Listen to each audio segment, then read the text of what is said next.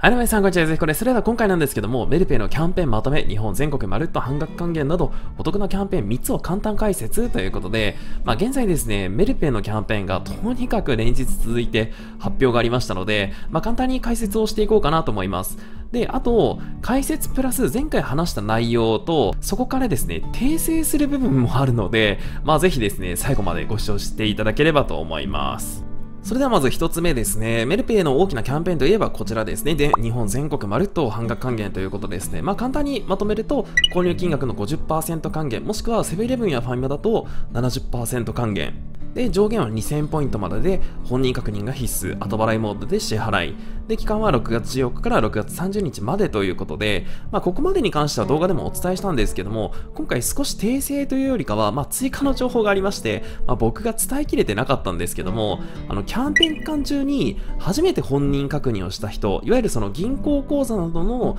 登録をした人は、メルペの残高で支払ったり、メルペの後払いのどちらでも還元の対象となっています。なので、こののキャンペーンのタイミングで、メルペイデビューをした人に関しては、無理に後払いをせず、通常通りチャージをして使えば、今回のキャンペーンの還元を受けることができるということですね。あともう一つなんですけども、僕はですね、ID 払いだけ限定みたいなことをですね、多分何回もお伝えしてたと思うんですけども、今回はですね、メルペイのコード払いも対応してるということでした。あの、こちらの画像なんですけども、画像で言うと右側のコード払いが使えるお店ということで、まあ画像のようなスマホの画面を見せて決済する方法ということですね。まあ今だと松屋とかローソンとかミニストップで可能ということになっています。ということで、まあ以上がまあ半額還元の説明と訂正ということでした。で、次2つ目ですね。11円から買える価格のクーポンの第2弾ということですね。まあこちらはそのマクドナルド、セブンイレブン、ファミマ、ローソンでも使えるクーポンということで、まあ例えばそのセブンイレブンだとセブンカフェを11円で購入できたりですとか、あとはそのローソンだと濃厚ミルクワッフルコーンというのが220円が39円で購入できるということですね。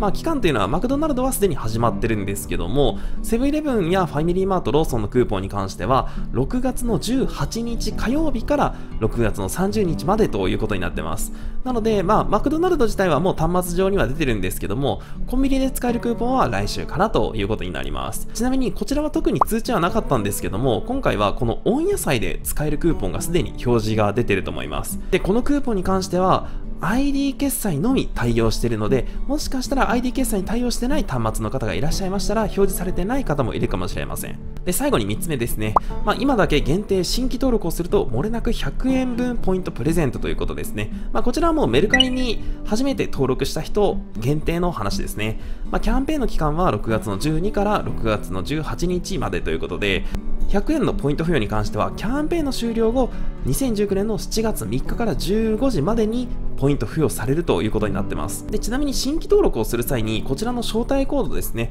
これを入力したら300ポイントもらえますので、この300ポイントは登録してすぐに付与されますので、ぜひ今回のキャンペーンなどに試してみてください。ということで、今回の動画いかがだったでしょうか？これまで解説したものの詳細に関しては、以前僕が動画でお伝えしてますので、招待コードと一緒に下の概要欄に貼ってますので、ぜひご確認してみてください。ということで、この動画がいいなと思ったらチャンネル登録、グッドボタン、あと Twitter もしてますので、Twitter のフォローなどしていただくと嬉しいです。ということで、本日はご視聴どうもありがとうございました。